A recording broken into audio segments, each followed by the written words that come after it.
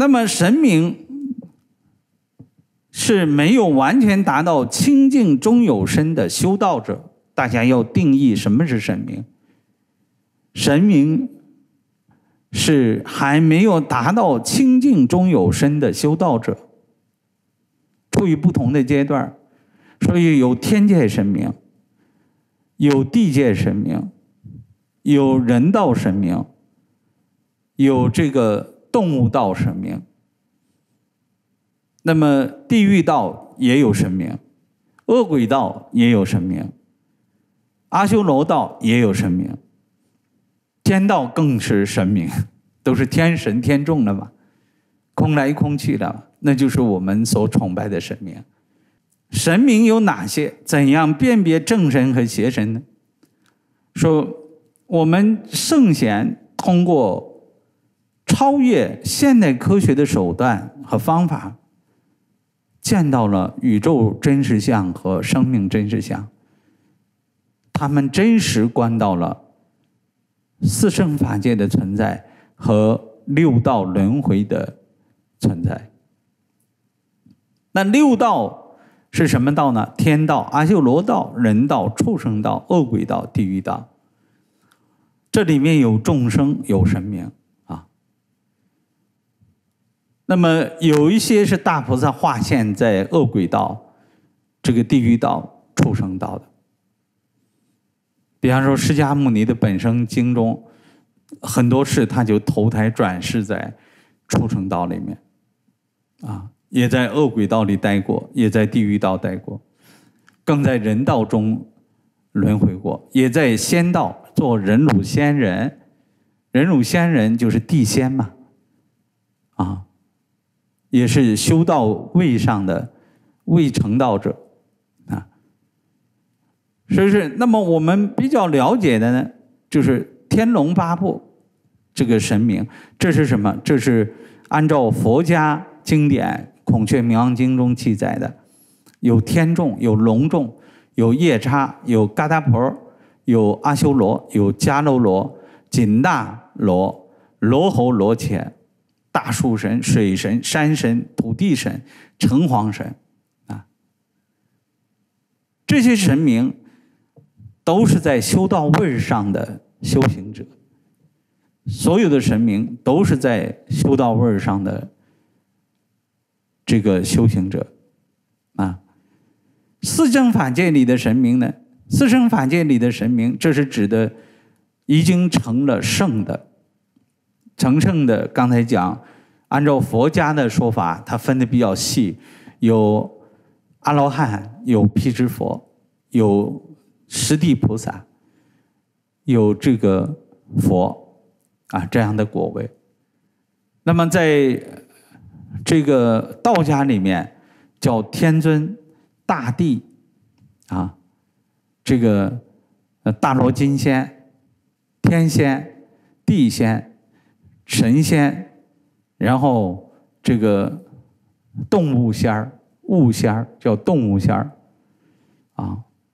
那么也有什么，呃，土地神、城隍神啊，大树神、水神、风神、雨神、雷神，啊，那么这个体系是庞大的，啊，庞大的。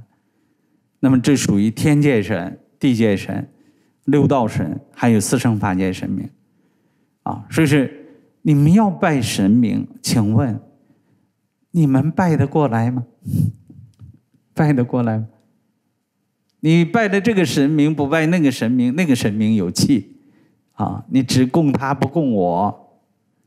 说是你们如果是用外求法向外拜，你们就天天在得罪神明，明白什么意思吗？哎，你叫张老师是老师，不认我是老师，你小子看我怎么收拾你。他既然是六道神明，他就都有脾气。他都是修到味儿上，他没得到清净光明身，清净中有神，他还是清净不清净身，一会儿是清净，一会儿是不清净的。他在不清净的时候，他就有脾气，有贪爱和有嗔恨。你拜他，他就贪爱你；你不拜他，他就嗔恨你。所以我们看，在南阳地区特别宠信鬼神的家庭都不好。为什么不好？你现在知道什么原因了？你就是总是有有鬼神怨恨你就对了。哦，你供这个神，你不供这个神，你不供我这个神。那天地间到底有多少神？老实跟大家讲，无量众神呐。大树神有多少种类？大家知道《天龙八部》里面的龙族就有一百多种，一百个多个种类是吧？将近两百个种类，一百九十多个种类。这是大家要知道，你要用外求法向外拜，特别是这种和动物物灵打交道的，你看都是破败的，孤寡老人，浑身百病丛生的，他们都是。奉神明，那比比自己都重要的，真是虔诚的信徒啊！结果他们得到好了吗？你看那个庙里那些庙祝，那些什么，哪一个得到好了？孤寡贫寒夭，家里的儿儿女都死光光，啊，这是什么原因？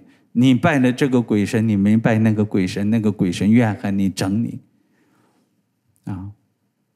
说是这种拜鬼神的方法，只能拜来怨恨，拜来破败，拜来不吉祥。很多人怨恨说啊，我天天给那个神神明烧香，神明不保佑我。你拜错了。为什么我一定要给大家讲一堂课，怎么来拜神明？因为你拜错了，你是用迷信的方法拜，你拜错了。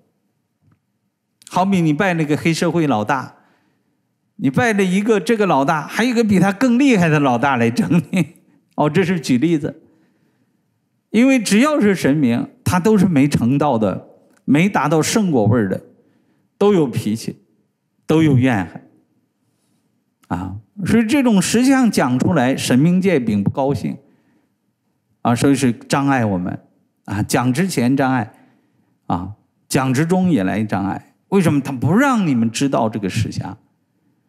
让你们迷迷瞪瞪的、迷迷糊糊的去拜，结果你拜来的是麻烦多。